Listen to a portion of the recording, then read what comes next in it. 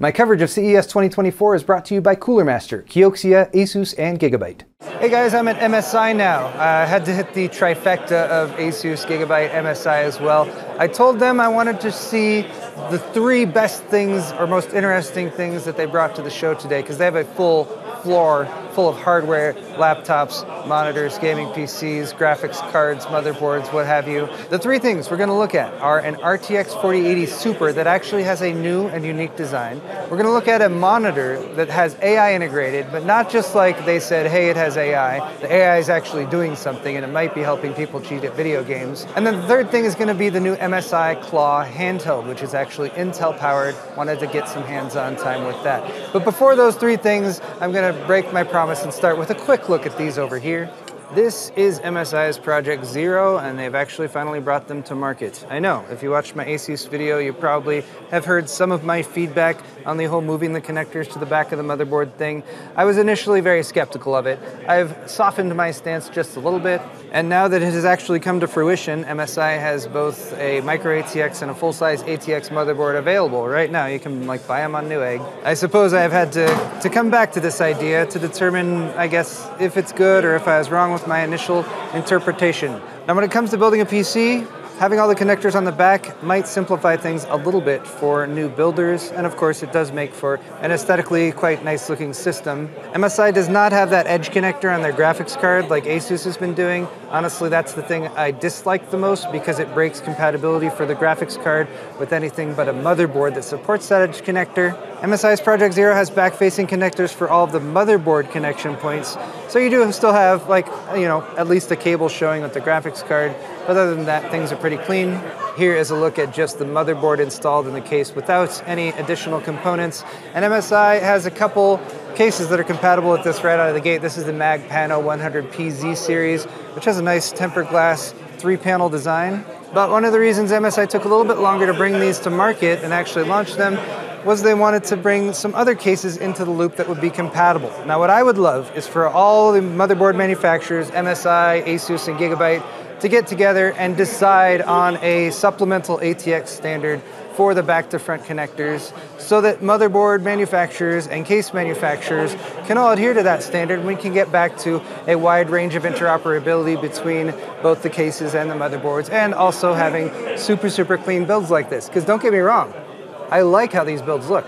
I'm totally down for very beautiful builds with limited cables and all that. I just don't want to have to lose functionality or compatibility for that trade-off. Now here we have an Origin Genesis featuring Corsair's 6500X. So this is a Corsair case that is compatible with MSI's Project Zero. And then over here we have a beautiful looking Maingear build in their NV9 and they did update and adjust the NV9 to also have the connectors passing through to the back, so you can see that look right there. So we've already got a couple cases from Phanteks and Corsair that are compatible with MSI's Project Zero. I would also love to be able to say that they're also going to be compatible with like Gigabyte and Asus cards. So hopefully if I and other people keep making noise about these things, they'll come around and be like, all right, we'll, we'll, we'll, get, we'll, we'll set you up. Look at that cool LED panel back there. What a nice little aesthetic touch. But anyway, here's a quick look at MSI's Project Zero and a few of the implementations of it. And again, you can already buy these motherboards, or at least a couple of them, over on Newegg. Next, let's talk about this monitor. Super controversial because this is an AI monitor. And I know AI has been a massive buzzword at CES this year, and it seems like every company is like, we need to be able to say that we have AI things, and it's been dubious as far as the implementation. What's the AI doing? What's it being trained on? What actual functional use is it is it doing? Well, MSI said we're going to make the MEG 321URX QD OLED monitor, which is a 4K, 32 inch, 240 hertz refresh rate, 0.03 millisecond gray to gray response time, 1000 nits peak brightness. Very, very drool worthy set of specs for this monitor. It's a Samsung panel. But the reason I think that uh, PC Gamer awarded this with a Best of CES award is the demo that they have going on right now. There is an AI processing chip. They wouldn't tell me any details about the chip that's installed, but it is analyzing the League of Legends gameplay. It has been trained to recognize what's on screen. It's been trained to check the mini map down here, and then every once in a while you're going to see a pop up on screen that's not part of the video. This is actually just a video that's being played back, but since the AI has been trained to recognize the elements of the game, it would work just fine with a video or with the game itself. you might see little red skulls that pop up, like at the top or down at the bottom or off to the side. That's analyzing the mini map and giving you an indication, there was one just there, of where the threat is coming from, supplemental to the game. The game engine has no idea it's happening because it is just analyzing the image that's being sent to the monitor. Now, this opens up a whole range of questions when it comes to like ethics and video games and especially competitive gaming. Is this okay? Is this cheating? Will game developers have any way to work around something like this? Are MSI monitors going to be banned for use in like tournament gameplay or something like that? Or I guess maybe just this one. It's not just those threat uh, pop ups that are appearing, the little red skulls, but it's also watching the health bar down here at the bottom. So as health starts to be deducted from the character, this bar actually gets less and less. I find that to be slightly less useful because how is it more helpful to look at this bar here versus the green bar that's right there. You tell me if that would be helpful for you if you're a League of Legends player or not. MSI actually said they weren't expecting this monitor to receive as much attention as it did, but I would say, again, in terms of AI implementations that I've seen at the show, it's great to see something that's actually using the AI for something and not just them saying, we have AI now. Of course, I couldn't stop by MSI without taking a quick look at some of the graphics cards that they have because we do have the RTX 4080 Super, that's the 16G Gaming X Slim. We've got the 4070 Ti Super right here, also in the Gaming X Slim, and the RTX 4070 Super 12 gig Gaming X Slim. The designs of the shrouds, the coolers on these are going to be essentially identical to what's already available with the non-Super RTX 4070 and 4080. So I'm not going to take too close a look at these.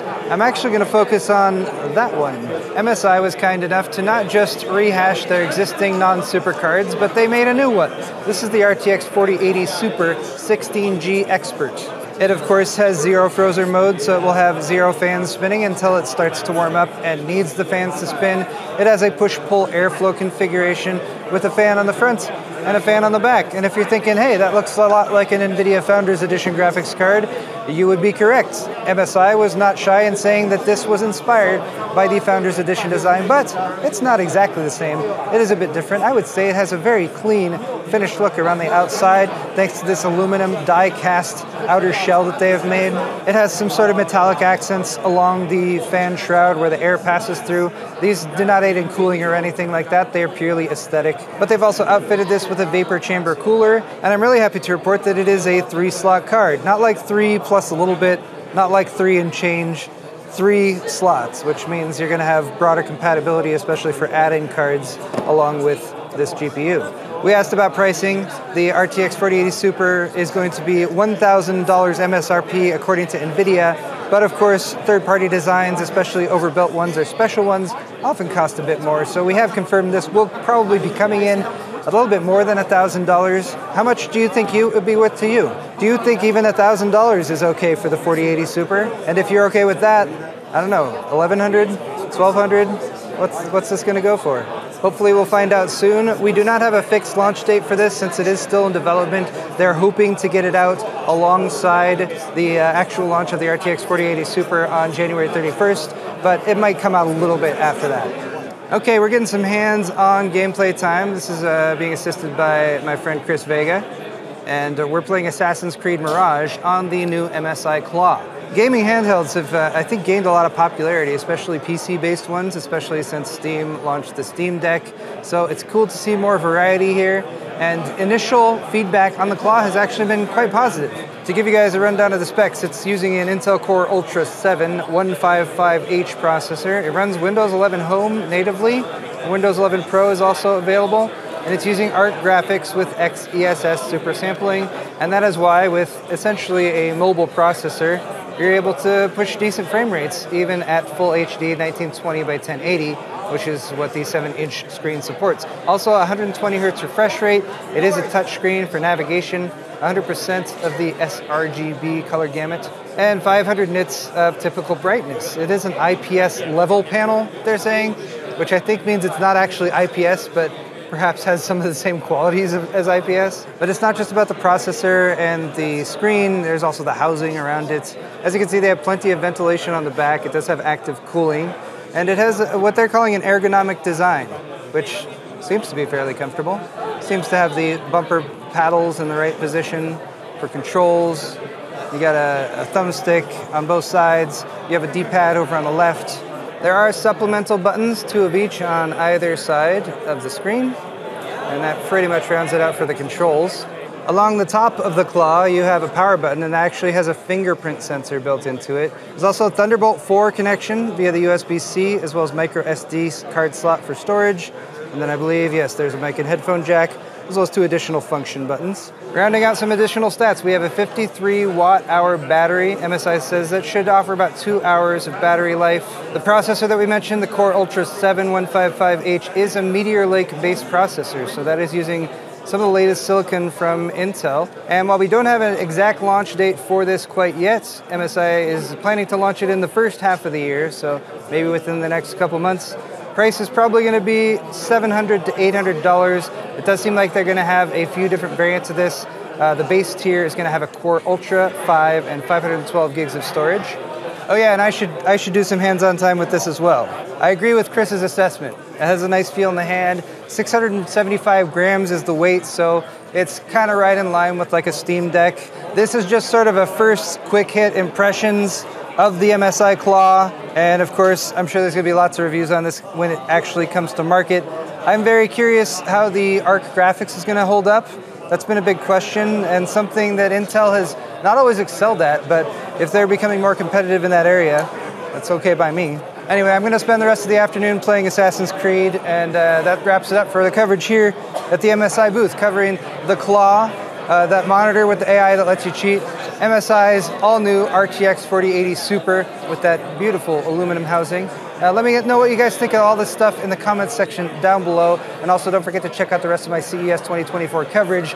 Thank you to my sponsors for this event, Asus, Gigabyte, Kioxia, and Cooler Master. And of course, check out my store at paulshardware.net if you want to buy yourself some high quality merchandise. Big thank you to Chris as well, who jumped in here and assisted me with some uh, production today. We'll see you all in the next video. Yay. Thanks, man.